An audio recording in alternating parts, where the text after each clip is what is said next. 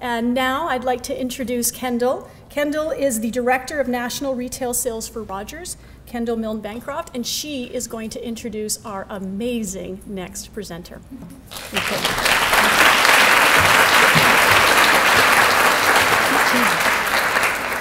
So good morning, good afternoon, everybody. I had the pleasure of being part of the, uh, the panel that we did this morning, and it was so great to hear so many passionate people about women in technology, and this next speaker is no exception.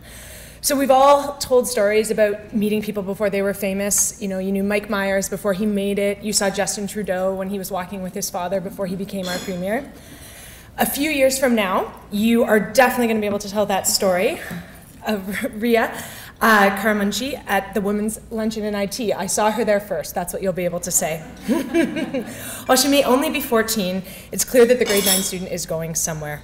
Considering the young woman's passion for technology and, and entrepreneurship, her riveting presentation style, which we're about to see, uh, it's no wonder that she recently received the One to Watch Award at the business competition held by the Economic Club of Canada. Riya learned the fundamentals of coding, circuits, business, and entrepreneurship through the not for profit Zero to Startup program. And she is now involved with two startup ventures one pushing the introduction of smart street lights in the city of Toronto, and the second, the creation of a smart cane that serves the mobility device for the visually impaired. Later in the program, we're going to hear from a Dragon's Den veteran that we'll be introduced to later. Um, but I'm confident that you will be impressed by Riya's presentation and might even want to get in on the ground floor. Certainly, anyone in HR is probably going to want to slip her a business card after you hear what she has to say. There's a lot of that's a lot of pressure to put on somebody who's still two years away from being able to drive. Uh, but if you saw the, trans, uh, the presentation at the Digital Transformation Awards, you'd know that she's up for the task. So please give a warm round of applause for Riya.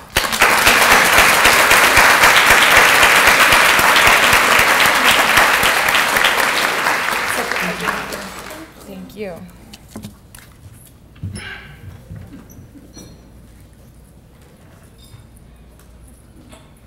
So, hello everyone. My name is Riya, and I'm a grade 9 student, and I'm excited to present to you my new innovation, the Smart Cane, a modern device for orientation and mobility for the blind and deaf-blind community.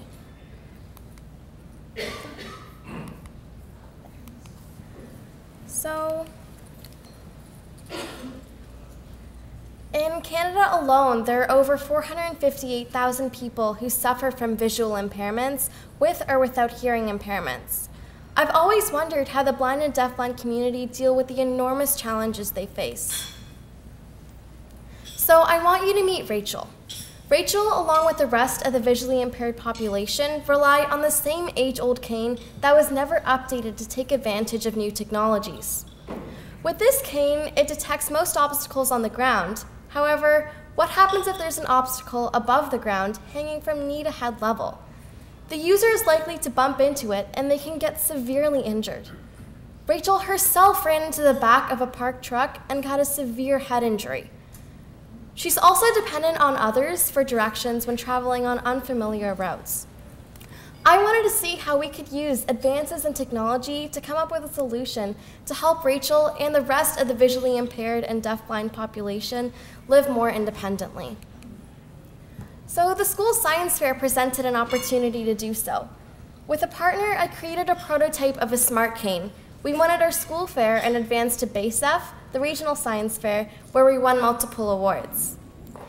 So our initial solution was creating a smart shoe for the visually impaired. It would detect objects in front of the user and would vibrate to let them know when something obstructs their path. And it would also be integrated with a Maps app on their mobile phone to help direct them where to go, let's say left, right, or forward, using varying vibrations. However, with this approach, if the technology were to fail to work, we would, putting, we would be putting their lives at risk. So this led us to refine our idea and come up with our current solution. The technology would be incorporated into a cane itself. This would provide the same benefits as the previous approach, but would also address the dangers. So after that, I wanted to take the project further. I attended the Hacking Health Hamilton Hackathon. There, I formed a team of eight of industry professionals, and we further improved the project. We later then pitched to a group of venture capitalists, and we won the People's Choice Award, and I received an internship at Medic, a software development lab focused on e-health solutions. I'm currently there for the summer trying to get the Smart Cane into the market. So, though we can communicate some information, use some navigational information using vibrations, we're limited to the amount of information we can provide. So, to address this issue, we could incorporate Braille onto the handle of the cane itself. Currently, there's a company called DOT and the CNIB who are working on devices that include changeable Braille. Hopefully, we can work with them to introduce this feature onto our device. So some of our current features that I'm working on are an emergency button that can be added to the handle so when users press it, uh, it'll automatically transmit their location details, personal information, medical history with emergency personnel. And there's also optional sharing of location details with family members, caregivers, or interveners. So uh, let's take a look at our business model. So we would either do a B2B where we would partner with an existing CNIB store, which is the Canadian National Institute for the Blind, or and we would assume 90 to 100% of the sales in 2020 with decreased contributions later on. Um, our next option is to do a B2C, which is business to consumer, and we would sell our product through an online storefront such as Amazon or through our own. Uh, however, this requires brand awareness developed through social media, conference presence, a website, or a Kickstarter. And $5 per cane also goes to support IMAC, which is eyesight testing for children in Hamilton schools. So uh, looking at our financial sustainability, given the same Given the cane selling price of $55 and the cost for production $30, we expect, we expect to make $25 per cane. Acknowledging the fact that only 5% of individuals in our target population use a white cane, uh, we assume to make 10% market penetration in year one, which will increase to 30% by year five.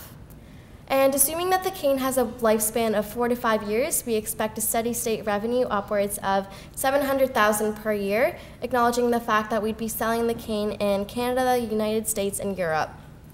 I apologize as uh, the slideshow is a little distorted as when it was converted into a PowerPoint.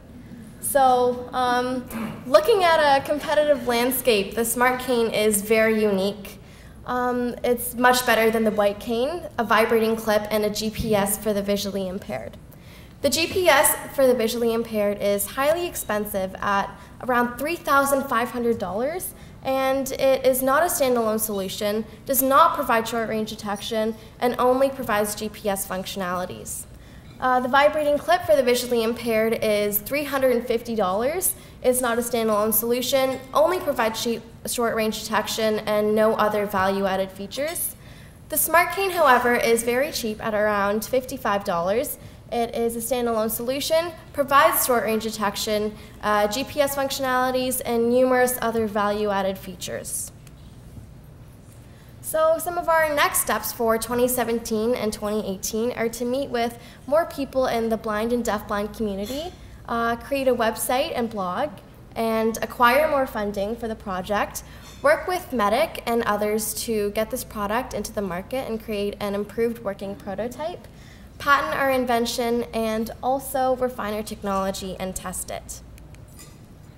So what we need are mentors and coaches in fields of technology, marketing, business, and entrepreneurship, and also funding for technology, a patent, a video about the product, and some business aspects. So the Smart Cane will greatly revolutionize the way that the visually impaired, blind, and deaf-blind live on a day-to-day -day basis, and it will positively change the way they live, and it'll really improve their lives. So I'd really like to thank my wonderful team from Hacking Health and Mr. Paul Brown, who provided me the internship at Medic, and also these other organizations for helping me get to where I am today. It's a little delayed. um, so thank you so much. Uh, do you guys have any questions?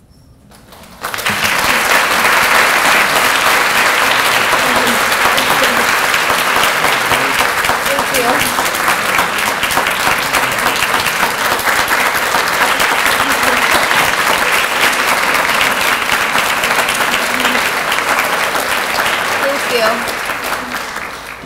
How much money do you need?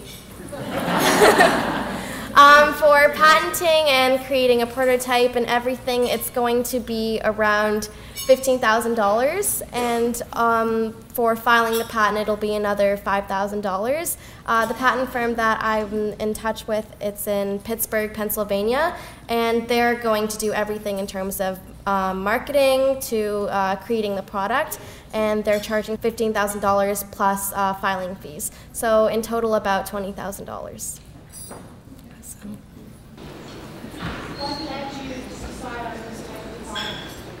I've always been interested in how the visually impaired and deafblind people live on a day-to-day basis, and my interest sort of sparked more when uh, when I was at home at my friend's house.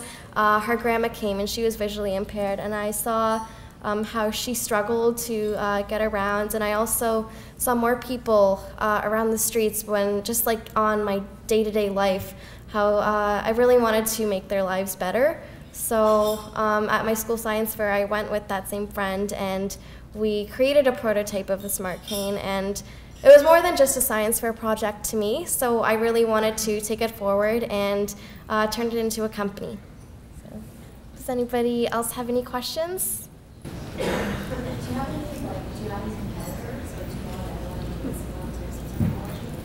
Yeah, so um, currently when I did the competitive landscape, uh, there's the GPS for the visually impaired, uh, regular vibrating clip, and um, currently uh, there's a group of students at a university in India who are creating a prototype of a smart cane. However, it just provides short range detection, just like the vibrating clip.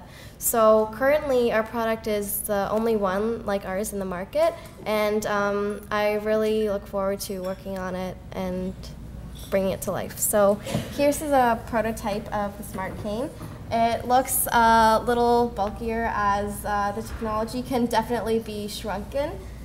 But so far what we have is it's incorporated with a GPS on mobile phones and provides short range detection. So if I were to um, put this in front of that, it would vibrate. Um, I can just turn it on. And uh, it's vibrating right now. So yeah, I'd love to show it to you guys after, but thank you so much. Wow.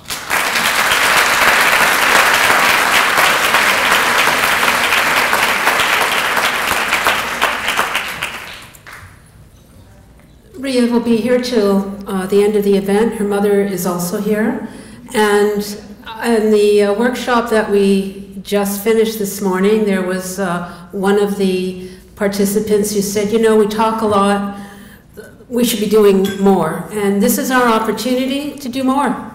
So uh, if you are interested in getting in on the ground level, if you're interested in helping uh, raise funds to get you to the next stage, or just helping her as a coach, this is our opportunity.